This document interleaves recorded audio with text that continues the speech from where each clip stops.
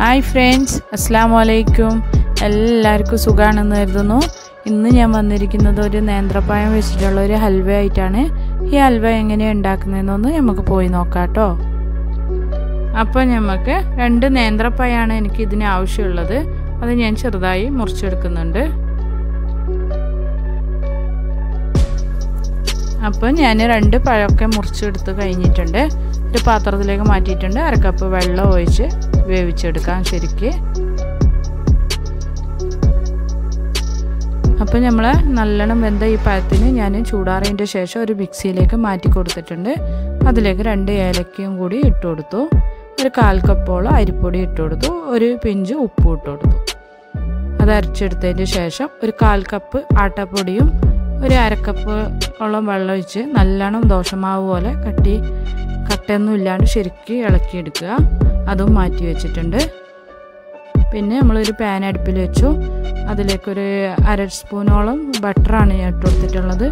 അത് ഉരുകി വരുമ്പോൾ നമുക്ക് അതിലേക്ക് ഈത്തപ്പായ നുറുക്കിയതും ബദാം അണ്ടിപ്പരിപ്പ് ഇത് മൂന്നും കൂടി ചെറുതായി മുറിച്ചതായിരുന്നു. അത് ഞാൻ ഈ ബട്ടറിലിട്ട് നല്ലോണം മിക്സ് ചെയ്തെടുക്കുന്നുണ്ട്. നല്ലോണം ഒന്ന് ചൂടാക്കിയെടുത്തു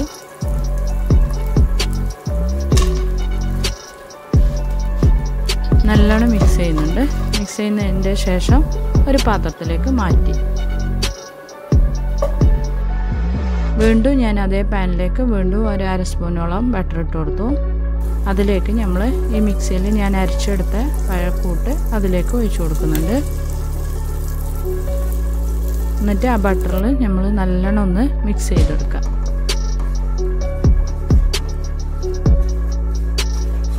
നല്ലോണം മിക്സ് ആയതിന് ശേഷം നമ്മൾ ആട്ട ഞാൻ നേരത്തെ കലക്കി വെച്ചത് ഇതിലേക്ക് ഒഴിച്ചു കൊടുക്കുന്നുണ്ട്.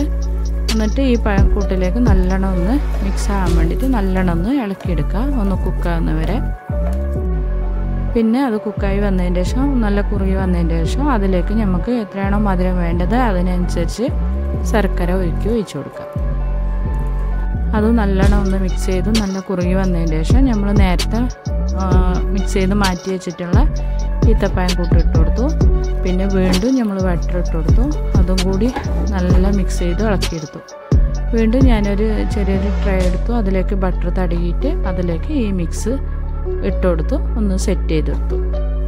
അതൊരു കുറച്ച് നേരം ചൂടാറിയതിന് ശേഷം നമുക്ക് മുറിച്ച് മാറ്റാം. നമ്മളെ ഹൽവ റെഡി അപ്പോൾ ഈ ഹെൽത്തി ആയിട്ടുള്ള ഈ ഹൽവ ഒന്ന് എല്ലാവരും ഉണ്ടാക്കി നോക്കണം. താങ്ക്